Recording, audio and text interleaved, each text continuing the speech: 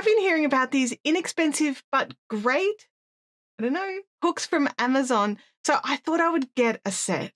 Now, I have to confess, I was a little surprised A, how inexpensive they were, B, what the list of inclusions were. So let's jump in and have a look. I bought this set. Now, the link for this is in the description. It is an Amazon affiliate link. It included all of these things. Now, I have to say, it came really fast. I did order it with my Amazon Prime account. I highly recommend Prime. If you can, grab it. It's got so many inclusions. You've got free expedited shipping. Even in Australia, I ordered this one day, it was here the next. So if you need a hook size for something, this is a really great way to do it. You can also get a free trial of Prime. I've popped the link for that in the description as well. I don't know what I was expecting to receive. Now, I did make the conscious effort to not read the Amazon review, reviews. So when it arrived, I was kind of shocked how it came in its packaging. Okay. Not, not in a bad way or anything, but just surprised. So let's jump over and have a look. It has arrived kind of like a little flat pack. It's like really thin. Um, it just came in a big padded envelope, which I, because the images have got the little pencil case, I was kind of just expecting a little package just with the pencil case and everything was shoved into it. So let's get this bad boy open. I mean, the packaging is cute. Oh, there's tape as well. They really, really want you to be sure that you want to get into it, don't they? Okay, so are we ready? Let's go.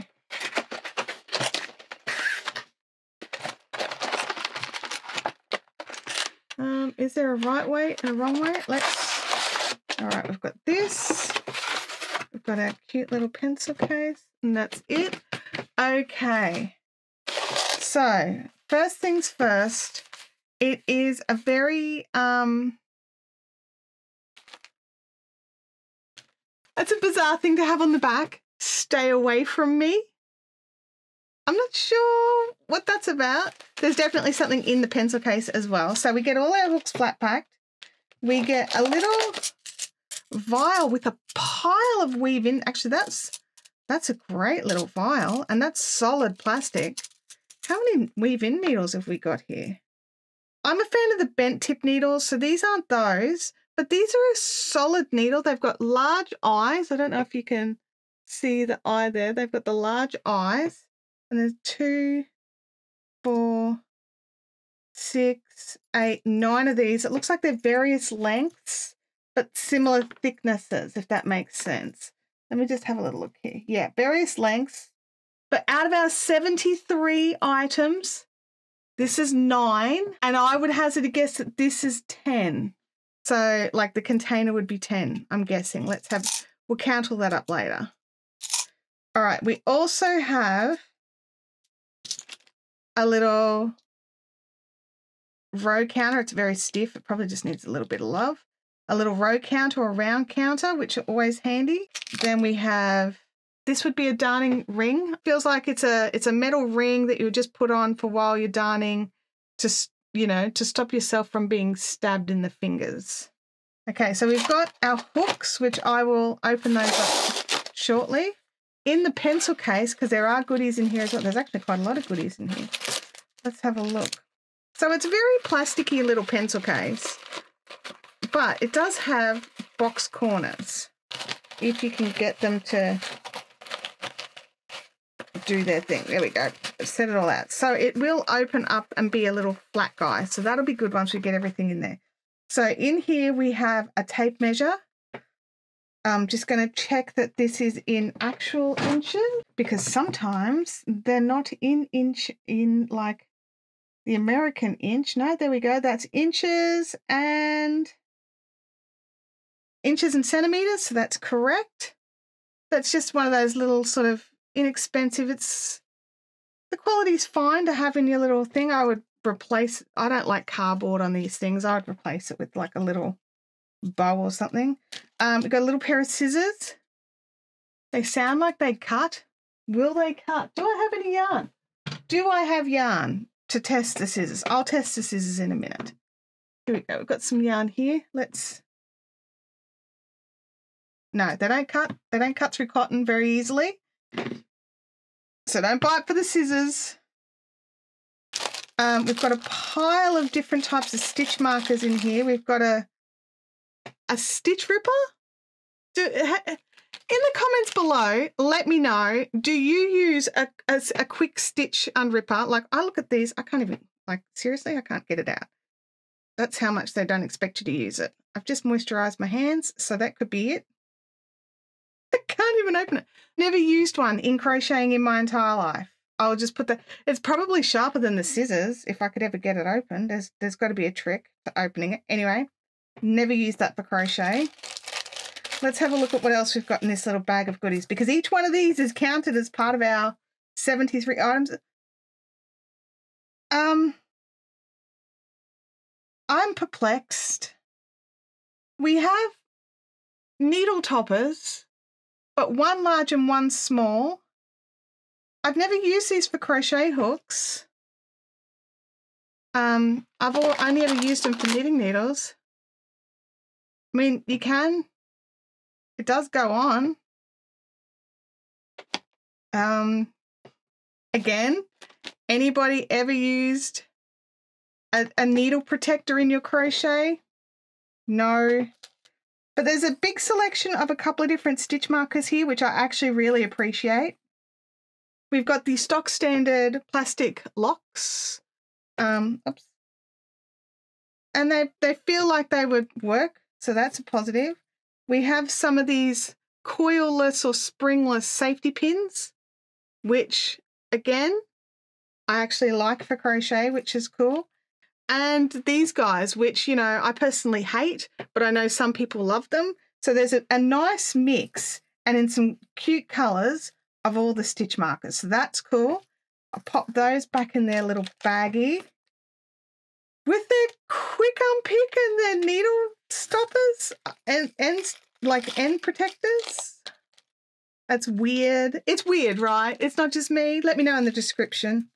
Uh, let me know in the comments if it's weird for you, some of these things that are being included in, in what is a crochet kit. Um, and then we have we have cable needles. So, so far, the things that I would not use for crochet are the cable needles, the, the quick unpick, and the end stoppers, which they only supply one of each in each size. So that's not even two of each, which, you know, I couldn't sneak those over into my knitting bag because there's not enough. All right, let's have a look at the hooks. Now, you guys know I'm a clover girl. I, I, I love clover. I use my clover hooks, all my tulip hooks, pretty much constantly and exclusively. Uh, these actually feel not bad. The rubber feels all right. They're a bit chunkier. Where's my tulip? So here's a tulip here. So it's a bit softer than the red tulip. There are, it's a tapered head, a tapered shaft on this. Uh, and that moves. So I wouldn't be able to use this one. This one's, what size is this? The two mils out for me because it's broken. So let's pop them all out. It's a really good range of hooks, like from the sizes. It goes from 2 mil to 10 mil. So that's a great range. And like we're talking 20 bucks. So to put it into context, this whole pack was around 20 Australian dollars. When I order um, my clover hooks, they're around 11 to $12 each. So um, a set of clover hooks uh, is more like the $80 mark. So, you know, I'm trying I'm trying not to be too picky, okay? But when it doesn't sit, that would just do my head in. Like when it comes it wiggles, I'd have to glue that in. So that the next one's right. That was it's the for me the two mil is busted. The two and a half feels solid. Um, and it's not as this one was really quite tapered. Like I'd be curious to know which part of this tapering is actually the two mils. I'd have to get my needle gauge out to have a look to check that. Um, and because these aren't inline hooks, I need to get out one of the crochet needle gauges, which in all honesty, I have no idea where mine is right now, so I can't check. But again, we've got a long throat. The throat goes to about there, and then it is the same width all the way from there to there. Um, the hook itself looks all right. Not very deep there in the uh, in the hook, but we'll see how it goes. It feels fine. It's got a good flat section, which I personally like. So I hold my hooks like this, or more like that, to be honest. Um, and it seems to be sitting in the right place. So when I have this one, my my finger and thumb are like that, and the hook faces me. Let's see, finger and, and the hook faces me. So that's pointing in the right direction as well, which is great. So what have we got here? We've got a three and a half. Is there no three? We jumped from two and a half to three and a half. Oh, what are you? Are you a three? No, there's a three. Cool, cool. Because I use a lot of, I use a three a lot. But again, this is actually a quite, uh, it's not a very, I'm going to, I'll get a close up shot. But this actual tapering is not even, it's not even at all. You'd have to use the same hook for the project all the way through and not switch and change out a project. So I'm very used to, like, this one's a four and a half, so it's a bit harder to tell, but I'm used to a thin throat coming into the shaft where the shaft is uniform in shape all the way from just beyond the throat all the way to the handle. This is not that. We've got our thin throat, it goes to there, then it's still thin, and then it gets to here before it is its actual size. Let's have a look here. We jump up to the four mils, and it's actually a bit more standard like this guy here. It is actually the thin neck up to the uh, thin throat, up to the shaft, and the shaft is all a solid single length. So you get up to the larger hook sizes and it seems to be better. But when you're in these smaller ones, which I actually do use a fair bit, one of the reasons why I actually decided to just jump in and do it is I only have the one four and a half mil hook right now. And I was just like, you know what? I'm going to buy this whole set for this four and a half mil hook. Um, so hopefully I've got some extra bonuses out of it, not just a hook. Uh, but no, they feel fine. They feel solid. And they are metal metal heads. Um, I'm not sure what they're made out of. Let me have a, a read here. It doesn't specify. So if you are allergic to things, I would be cautious, handle with care. This one is this one's wiggly. The four mil wiggles in and out. I don't like that. What about the four and a half? No, the four and a half is solid, good, because it's the four and a half I wanted. We go all the way up. So I'm just checking these shafts as we go. It it seems that as we get to the bigger hooks, the handle has stayed like feels because the hook head is longer, the throat goes to here. So I don't think there would be much room to actually get your stitch. I don't think I'd use these larger hooks. Their throats are not as long. If you're just doing one or two projects, I can see it would be okay, but I prefer the longer the longer shaft on these hooks, so the shorter handle, longer shaft. So that's that's the difference that I'm comparing to here. So even their four and a half mil, so apples to apples, its handle is still longer than the tulip handle. So I definitely prefer having more space here. Um, but for 20 bucks, like 20 bucks, man, 20 bucks. What it's solid and the handles don't feel horrible. The the quality of the metal, there's it could be I, I've realized I am actually very fussy with my hooks the more I'm playing with these. I would use these only if I couldn't get my hands on my others. Like this is very smooth. My fingers glide along it, so the yarn glides along it. This is a little, it's still smoothish.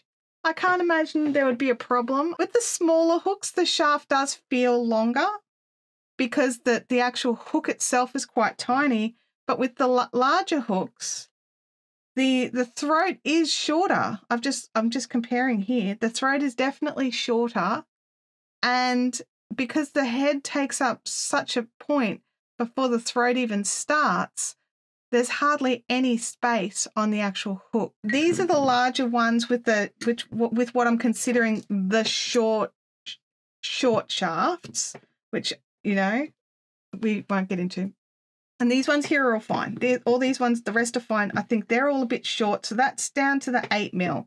So eight, nine, Okay, so seven, eight, nine, and 10, I probably, I would only use in a pinch, honestly. And I, the reality is, I very rarely need a hook that size anyway. Do I even own any hooks that size?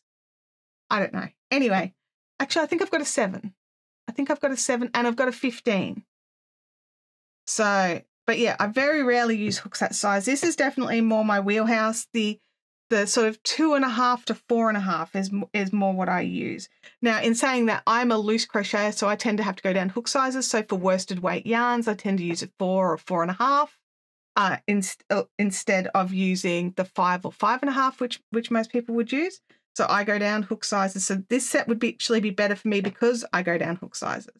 Just having a look at the six here. The six is borderline. The six, the six throat is def is long enough to use. You definitely get a stitch on there to, to get your right gauge. I think it's a really interesting little set. It gives you everything you need, including a little pouch to put everything in. It gives you a good starting point.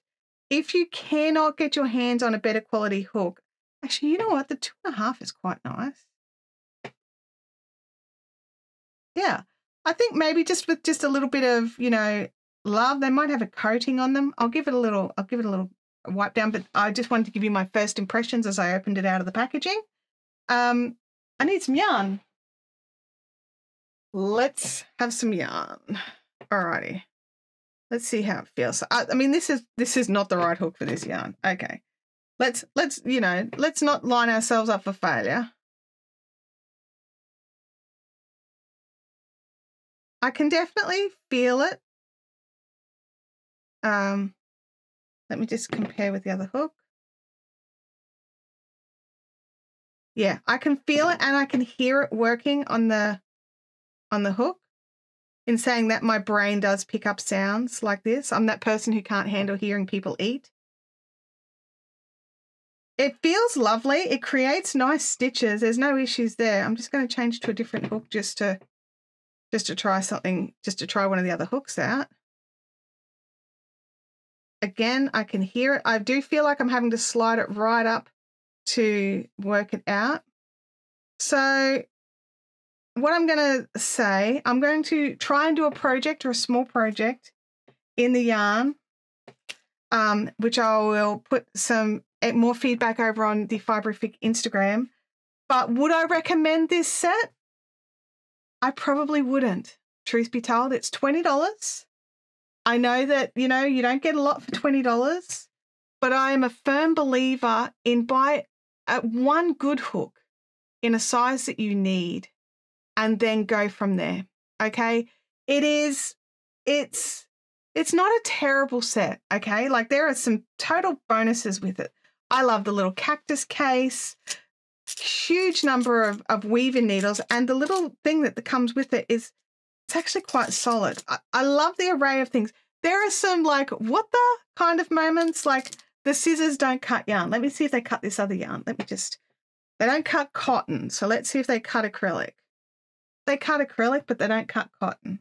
So, you know, the scissors. Why do we need cable needles for knitting? Why do we need a stitch unripper? Why do we need point protectors? There are some like what does in the pack. The the hooks themselves are pretty solid, but there's loose hooks. So, you know, like there's hooks that I, I would throw away. Like basically if a hook starts moving, I bin it. So which it was this one. So that one's that one's gone. There's another one that's gone. Um, it could be just the set that I got. Now I bought this one from Inscraft. So this is the Inscraft crochet hook set. There are other brands of these beginner hook sets that you could totally try. They might be different. Would I buy it again? Would I gift it to somebody? Would I give it to a beginner crocheter? No, I really wouldn't. I really think that buy them a decent hook, a decent little pair of sharp scissors, and a cute little pencil case, and a couple of stitch markers, and that's what they need. The rest of this, like, is fluff. Like, you know, it's it makes it seem like a good deal because of the number of things that you get, and that's that's not a terrible thing. But the quality of the hooks is subpar. They're loose. They're not evenly tapered. You don't know where on the the hook you need to go to get your gauge. The larger hooks would be unusable because you've only got this much space. Like, what is that? That's one centimeter. You've only got a centimeter so less than half an inch of space where the, the, the hook is actually the right size. But this particular set, that's a no from me. If you want to, if you have your opinions and your feelings, and if you found one of these inexpensive sets that are better, let me know. I will definitely want I want to I want to find a good inexpensive set so that I can recommend it to people. So if you've got suggestions of ones that you've got that you've loved, please let me know and I'll grab those in and I will check them out. I hope that you continue on your crochet journeys. I will catch you in the next video.